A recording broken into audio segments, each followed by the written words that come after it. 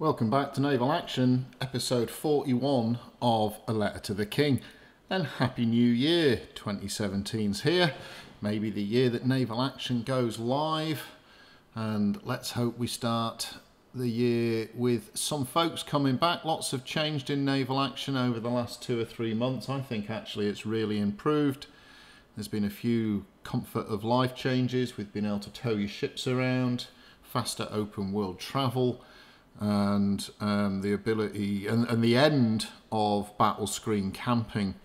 So let's hope that we start seeing some numbers improve in naval action in the alpha and um, with the future releases to come with raids and the UI improvements and whatever else they've got up their sleeves. Um, I think Naval Action is actually a better game now than it's probably been um, all last year.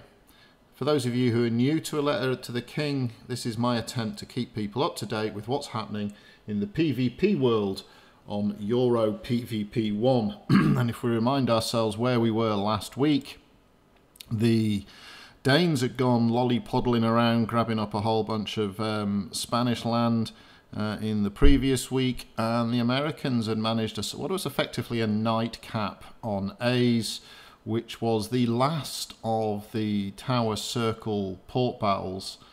And we were into the new port battles proper. Uh, during last week, there were none taken. So, what happened this week?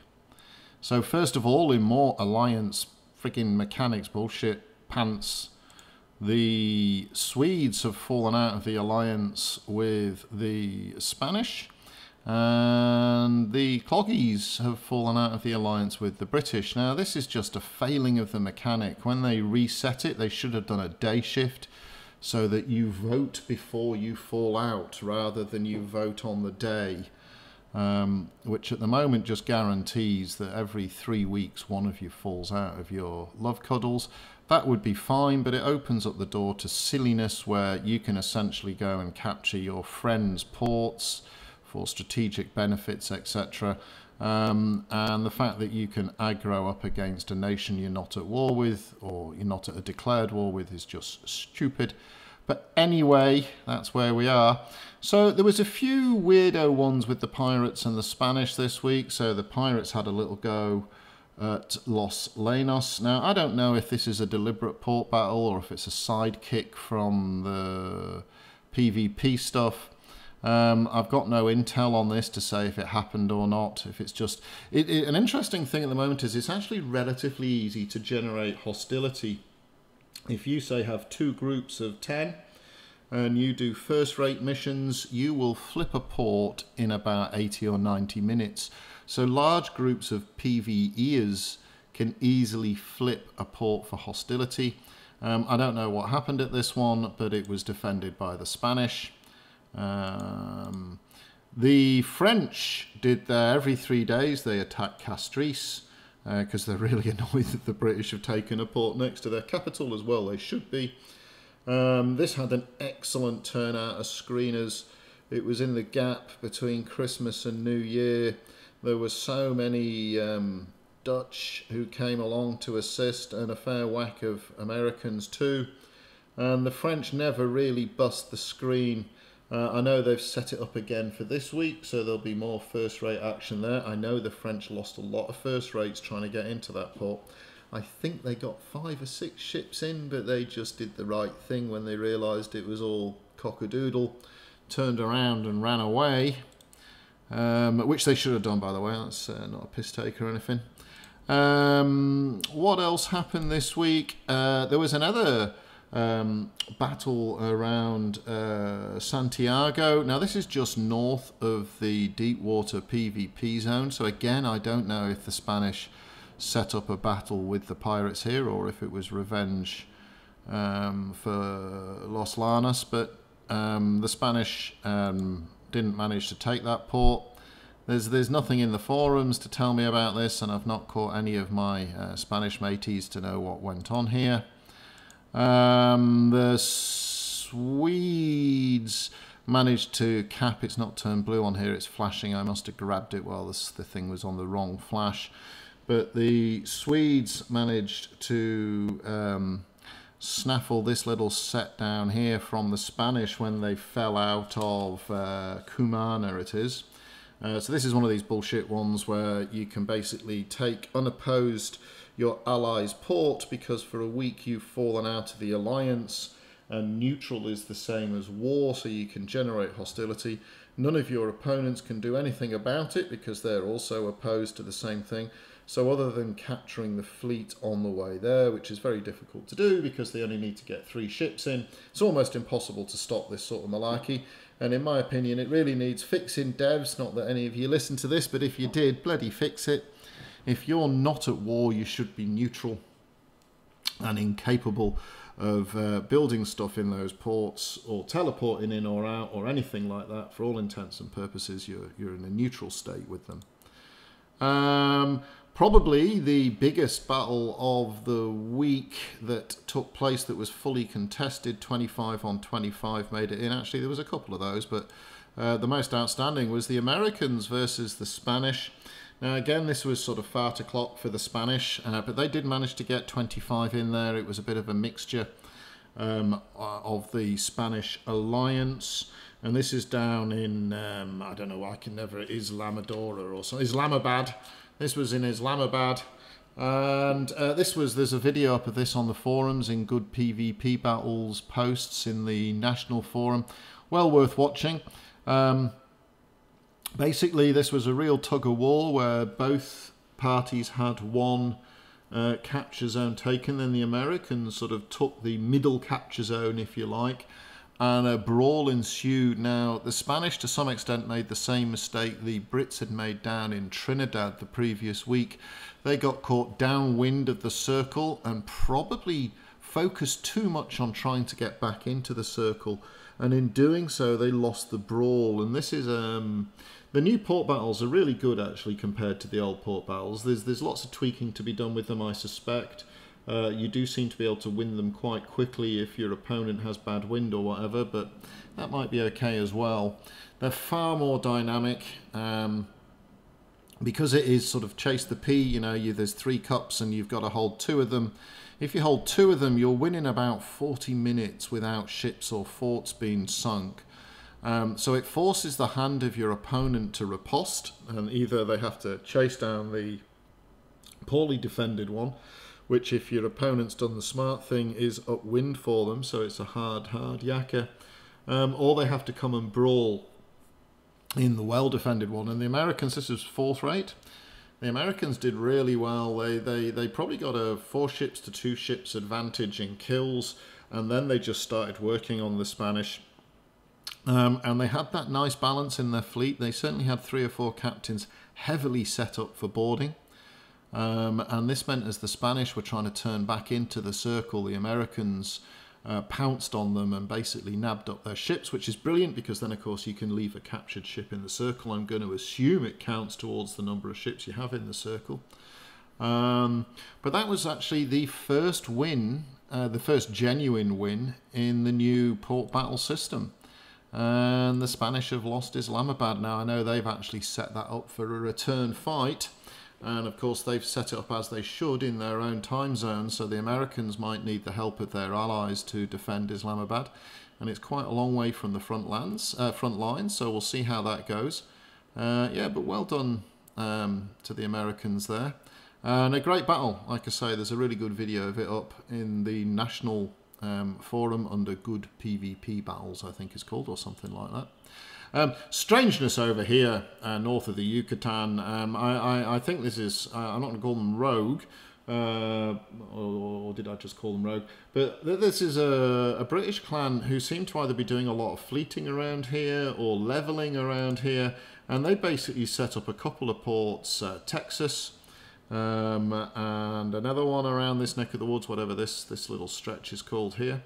Um, but I don't believe they were contested um, Texas is a hoot because it's got the worst port entrance in the world. That is screening heaven. You take that, you, you deserve all the prizes you get.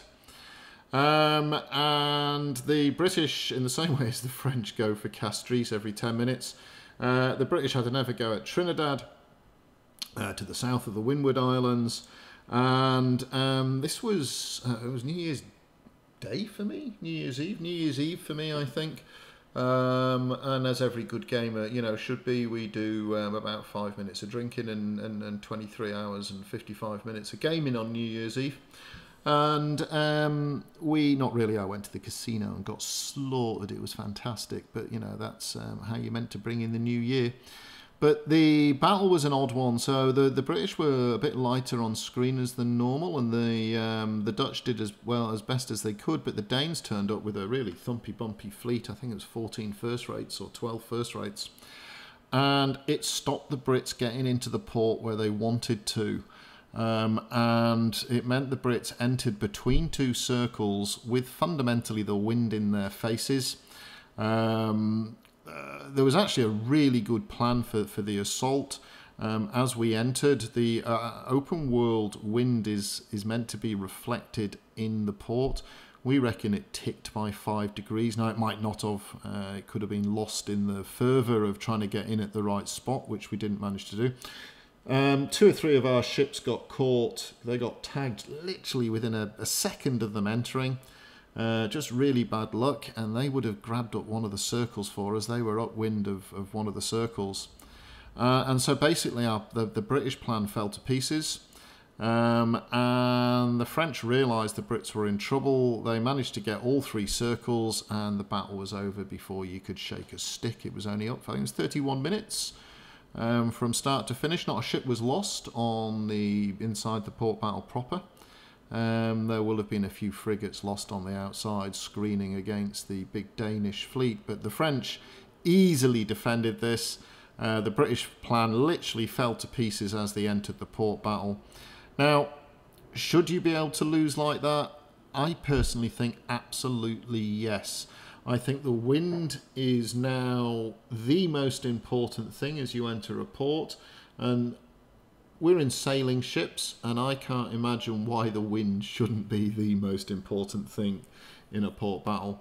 Um, as the attacker, you do get the benefit of choosing where you enter from, um, unless screeners harry you off. So screening has now really come up with a, a, there's a second level of importance. It's not only denying entry to the opponents, but it's also denying entry where they want to enter. If you can shut down the uh, effectively the upwind part of the circle and force them to enter in the wrong place, um, you might not stop them getting in, but you probably will stop them winning the port battle.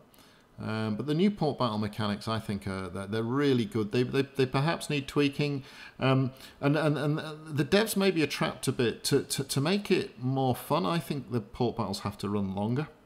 I think we have to be prepared for say a two-hour or even two and a half-hour timer on the port battles. Now, from a computer game development perspective, they might be really nervous about making people commit to two hours because we do, you know, it is the ADD generation um, although most people who play this game do tend to be, I feel, um, up for a longer biff.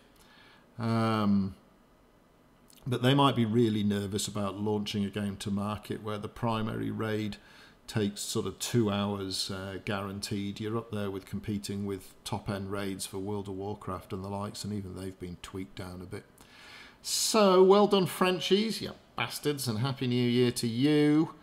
Um, and I think that was more or less it. Uh, there was a, a port battle um, just around uh, George's Town. There's so many bloody ports with George in their name. Uh, and this, but this was just near the Georgetown, just near the uh, shallow water Biffo zone. Uh, this was stimulated by our pirate brethren. Um, and I think this was just an accident. They did well in the PvP zone, and in doing so, killed enough BR to flip the port, so nothing happened there.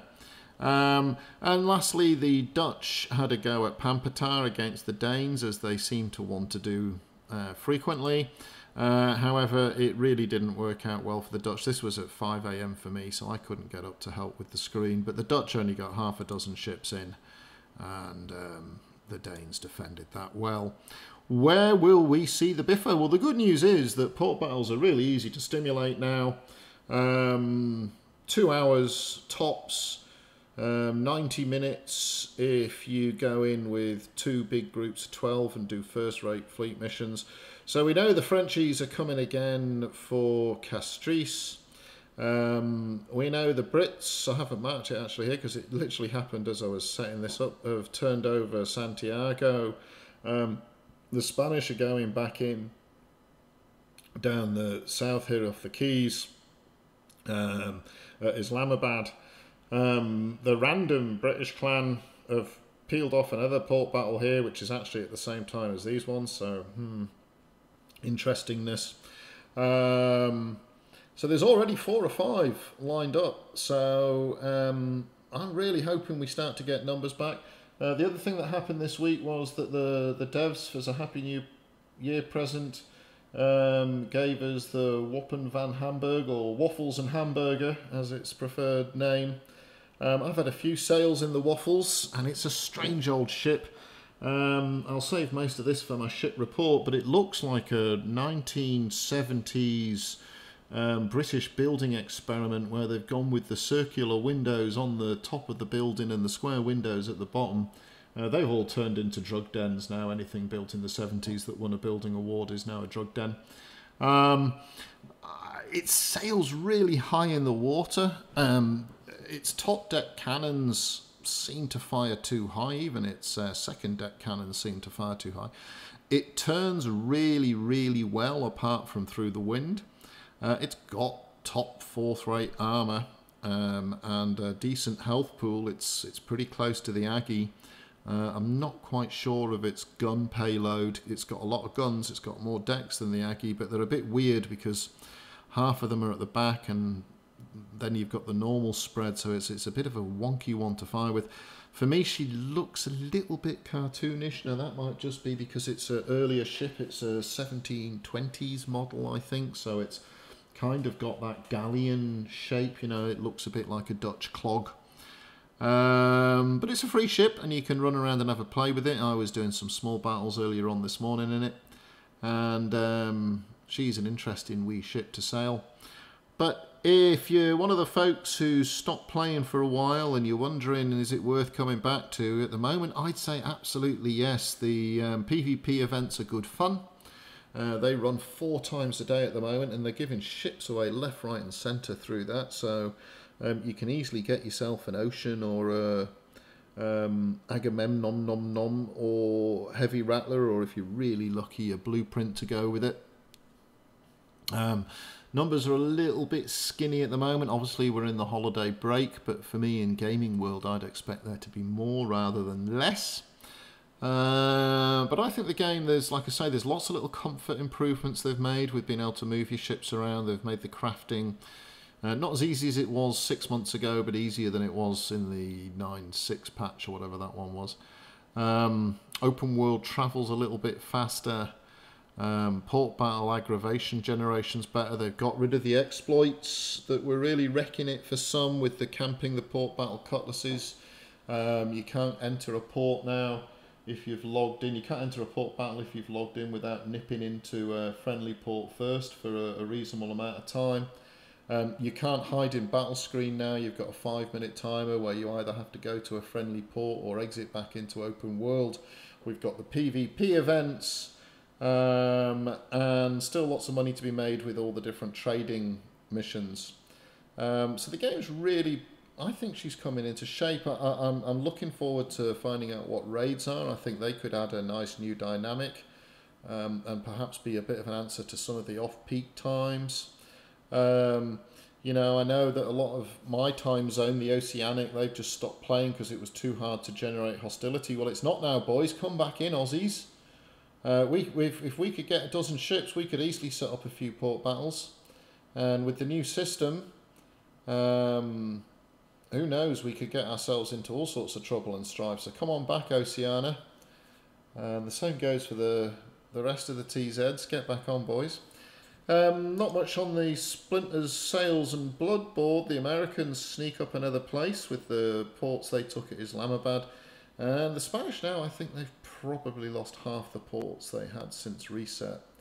Um, although we did see this week them agitating a few. Anyway, that's enough for this week's naval action. Give us a like, give us a subscribe. I will see you on the oceans and I will catch you.